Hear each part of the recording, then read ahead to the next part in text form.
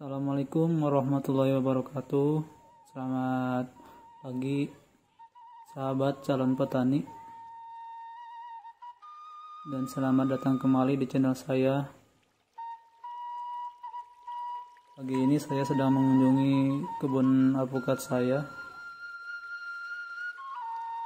dan pagi ini sedang dilakukan atau pembersihan gulma-gulma di sekitar pohon. Saya tidak sendirian di sini dibantu oleh orang tua saya dan saudara saya.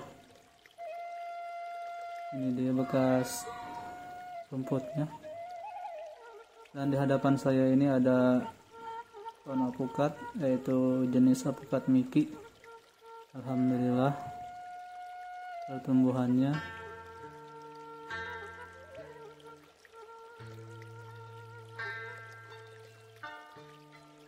Hmm, di sini kurang lebih eh, saya lebih memilih jenis alpukat Miki dibandingkan yang jenis yang lainnya. Ya, di, kita juga tergantung selera kita eh, inginnya menanam jenis alpukat apa. Karena di Indonesia ini banyak sekali jenis alpukatnya. Ini dia ada sempat mimpi juga.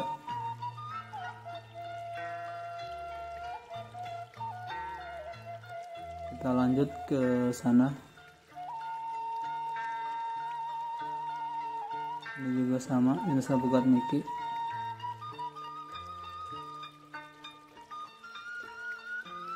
kebun saya ini e, menggunakan pupuk kimianya baru satu kali.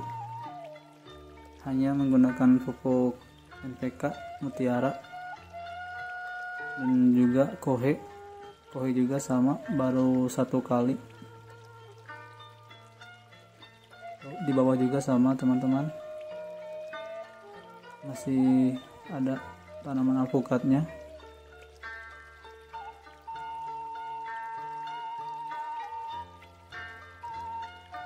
kita lanjutkan perjalanannya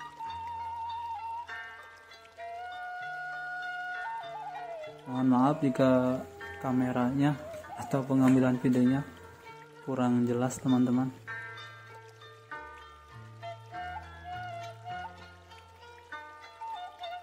Di sini rata-rata uh, usia pohon atau usia tanam satu tahun lima bulan. Dan ukuran pohonnya tidak sama semua. Ini salah satunya setelah dilakukan pengecetan karena kan e, ini awal musim penghujan di tempat saya teman-teman.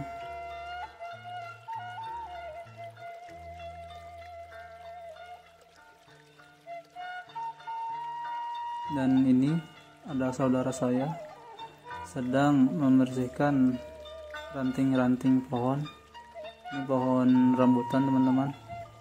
Karena di bawahnya ada pohon alpukat agar tidak menghalangi sinar matahari terhadap pertumbuhan pohon alpukat saya. Makanya saya pangkas di pohonnya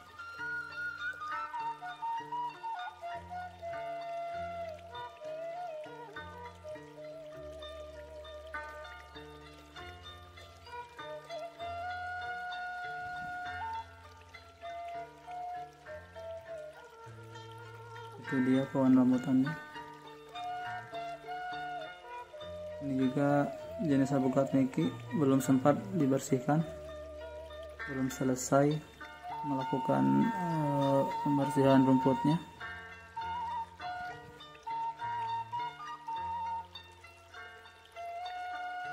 Cuaca di sini uh, kurang cerah teman-teman.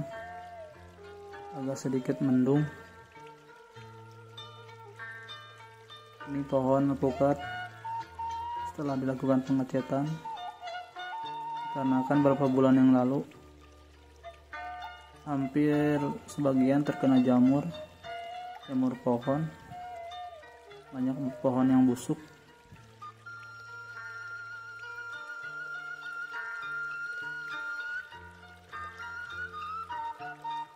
Mudah-mudahan eh, dengan niat kita untuk menanam alpukat. Bukan hanya eh, mendapatkan keuntungan tetapi juga kita bisa menghijaukan daerah kita atau hutan yang gundul. Setidaknya kita bisa sedekah oksigen.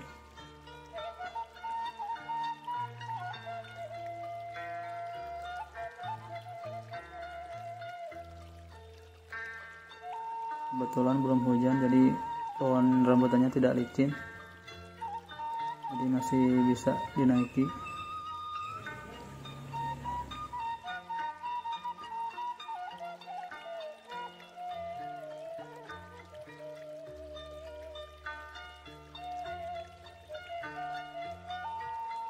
Saya di sini juga sama eh, sebagai petani pemula baru pertama kalinya untuk menanam alpukat.